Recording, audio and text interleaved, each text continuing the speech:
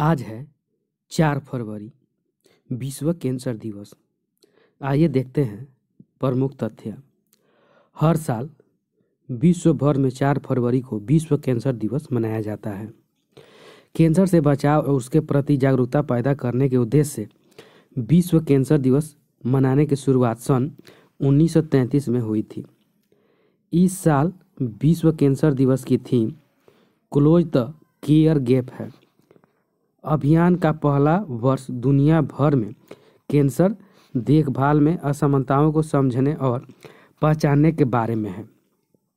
सबसे पहले विश्व कैंसर दिवस वर्ष उन्नीस सौ तिरानवे में जेनेवा, स्विट्जरलैंड में union for international cancer control UICC के द्वारा बनाया गया था।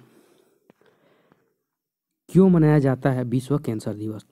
कैंसर के खतरों के बारे में आम लोगों को जागरूक करने और इसके लक्षण और बचाव के बारे में जानकारी देने के उद्देश्य विश्व कैंसर दिवस मनाया जाता है। बहुत सारे ऐसे लोग, बहुत सारे लोग ऐसे हैं जो ये समझते हैं कि ये बीमारी छूने से फैलती है, जिसके चलते लोग कैंसर के मरीजों से अलग व्यवहार नहीं करते। कैंसर के संबंध में फैली गलत धारणाओं को कम करने और कैंसर मरीजों को मोटिवेट करने के लिए इस दिवस, इस दिन को मनाया जाता है। इसके लिए सरकारी और गैर सरकारी संगठन विश्व भर में कैंप, लेक्चर और सेमिनार का आयोजन करते हैं। कैंसर क्या है? मानव शरीर कई अनगिनत कोशिकाओं यानी सेल से बना हुआ है और इन कोशिकाओं में निरंतर ही विभाजन होता रहता है। यह एक सामान्य प्रक्रिया है और इस पर शरीर का पूरा नियंत्रण होता है। लेकिन कभी कभी जब शरीर के किसी विशेष अंग की कोशिकाओं पर शरीर का नियंत्रण बिगड़ जाता है और कोशिकाएँ बेहिसाब तरीके से बढ़ने लगती है, उसे कैंसर कहा जाता है। कैंसर के कारण। विभिन्न प्रकार के कैंसर होते हैं और इसे विकसित करने के कारण भी अलग अलग होते हैं, लेकिन कुछ अन्य कारण हैं। धूम्रपान, अधिक वज़न गैर पौष्टिक आहार, तंबाकू, चबाना, व्यायाम न करना आदि है।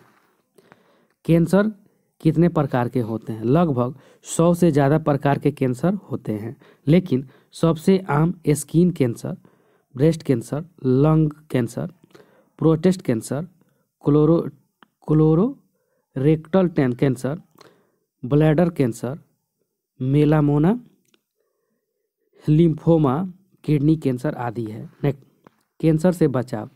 शराब का सेवन न करें। रेडिएशन के संपर्क में आने से बचें। फाइबर युक्त डाइट्स लें।